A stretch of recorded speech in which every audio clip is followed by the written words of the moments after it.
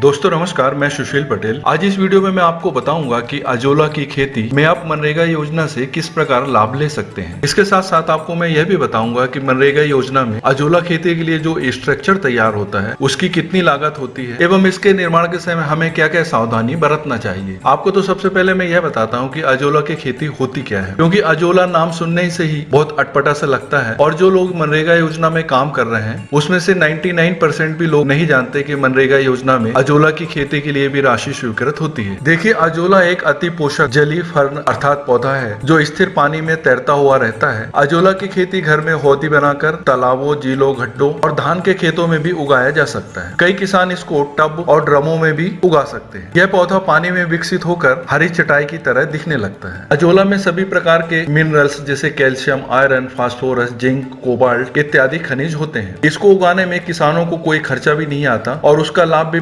पशुपालकों को मिलता है। इसको पशुओं को खिलाने से दूध उत्पादन में करीब 10 से 15 प्रतिशत की वृद्धि होती है। साथ ही साथ वसा की मात्रा भी 15 प्रतिशत बढ़ जाती है। इसे आप साफ़ और सरल शब्दों में इस प्रकार समझ सकते हैं कि जैसे हम लोग काजू, बादाम इत्यादि खाते हैं, जिसे ड्राई फ्रूट कहा जाता है, इसी प्रकार अजोला भी पशुओं के लिए ड्राई फ्रूट के समान है। चलिए मैं आपको बताता हूँ की मनरेगा योजना में हम किस प्रकार की अजोला की खेती लगा सकते हैं। परंतु इसके पूर्व में चाहूँगा की यदि आप इस चैनल पे पहली बार आए हैं तो प्लीज़ आप इस चैनल को सब्सक्राइब ज़रूर कर लें और सब्सक्राइब करने के साथ ये बगल वाली घंटी के बटन को अवश्य दबा दें, जिससे मेरे आने वाले वीडियो की सूचना आप तक तुरंत पहुँच सके। और जब आप इस बेल आइकन को प्रेस करते हैं तो देखिए इस प्रकार एक ऑल का भी बटन आता है। प्लीज़ आप इसमें भी क्लिक कर दें। और ये वीडियो देखते समय आपके मन में यदि किसी प्रकार के प्रश्न और क्वेरीज हो तो प्लीज़ आप कमेंट बॉक्स में अवश्य लिखें। मैं कोशिश करूँगा की आपके प्रश्नों का उत्तर दे सकूँ। और आप यदि मनरेगा के अपडेट से समय समय पर परिचित होना चाहते हैं तो देखिए एक मेरा फेसबुक का ग्रुप है, जिसका नाम है मनरेगा क्रिएशन प्लीज़ आप इसमें भी एड हो जाइए। इसकी लिंक मैंने डिस्क्रिप्शन बॉक्स में दे रखी है। तो चलिए हम वीडियो प्रारंभ करते हैं।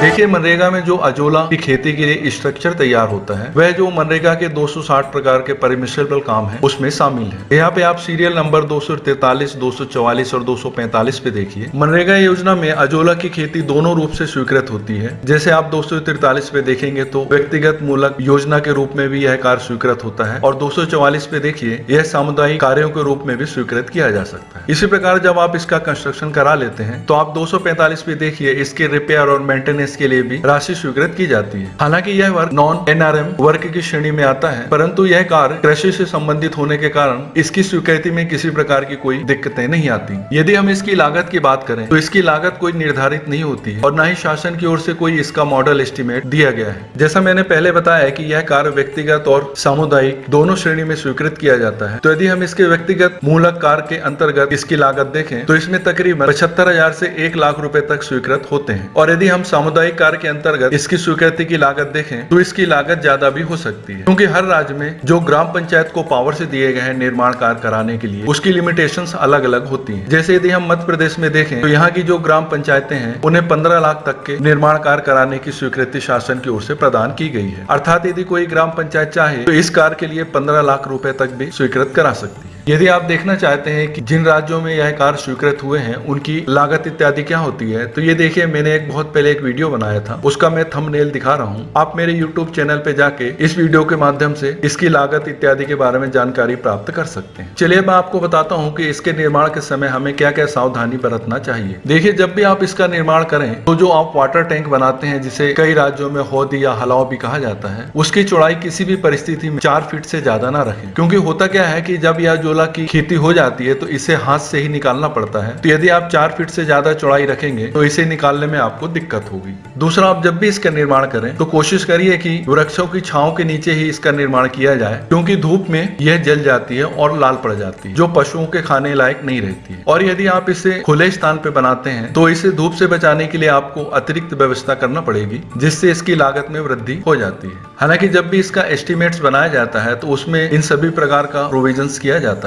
अब चलिए आपको मैं इसके बीज के बारे में बताता हूँ। प्रत्येक राज्य की सरकारें निःशुल्क रूप से बीज प्रदान करती हैं। हालाँकि इनकी बीज की लागत भी बहुत ज़्यादा नहीं होती। तकरीबन 50 से 80 रुपए प्रति किलो इसके बीज मार्केट में उपलब्ध रहते हैं। अजोलो की जो खेती होती है, वह भारत के सभी राज्यों में की जा सकती है। ठीक है दोस्तों, अब मैं वीडियो यही समाप्त करना चाहूँगा। आशा करता हूँ की आपको मेरा यह वीडियो अच्छा लगा होगा। ये देखिए, मेरे दोनों नंबर है। पहला नंबर मेरा कॉलिंग का है और दूसरा मेरा व्हाट्सअप नंबर है। आप कभी भी मुझसे संपर्क कर सकते हैं। नमस्कार।